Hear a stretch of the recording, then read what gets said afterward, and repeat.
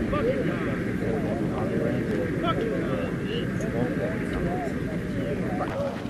says it's so hard to Yes. Because I got like nine shots in. Action shot. All stations, all stations. If anybody.